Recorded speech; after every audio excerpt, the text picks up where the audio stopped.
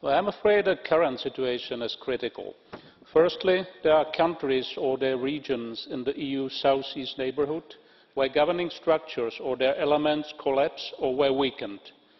Somewhere the power vacuum has been filled by Daesh and other fanatics spreading hate and terror.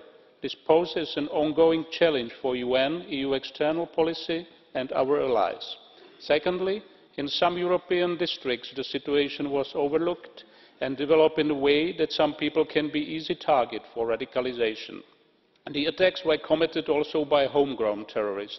To cope with this environment and change it, it represents a gigantic challenge for Member States and their municipal authorities. The new unprecedented level of terrorist threat requires also new approaches to cope with it. Sharing information between Member States, at least, must become a reality at last. It is also our role to work further on it, as well as on other elements of our common approach. No country can make it on its own, the EU with its allies can together.